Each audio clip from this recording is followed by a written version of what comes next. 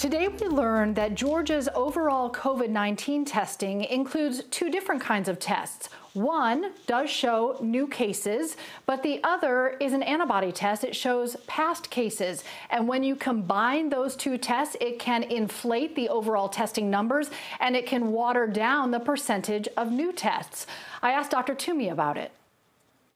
We are actually working on that right now, and I'll have an update for you uh, probably by tomorrow as to how um, we're going to continue to display those data, whether still as part of the aggregate total or separated out so you can see which uh, tests are being done as to identify acute infection or just uh, current infection versus past infection.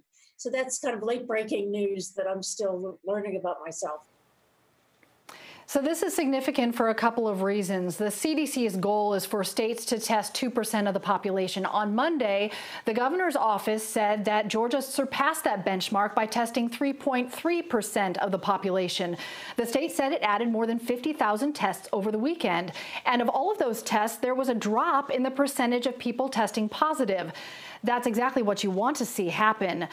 But that may be misleading if the two different test results are combined. Antibody tests do not tell us how many people actually have the virus, and they've been widely criticized for being unreliable.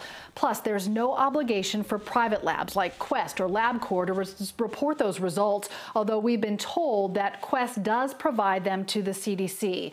We want to mention that in the past, we have asked DPH if the antibody tests are included, and they told us they were not. Now DPH is confirming that antibody tests are including, which can cause those numbers in Georgia to be misleading. There is no doubt, though, that there are more tests happening in Georgia. A steady stream of cars today at two new coronavirus testing locations in DeKalb County, one each in Decatur and Tucker. They're the first of six planned community testing sites targeting the hardest hit zip codes. Teams are going to administer free tests Monday through Friday, 10 a.m. to 3 p.m. Anybody may be tested regardless of symptoms, and while you don't need a doctor's referral, you do have to have an appointment.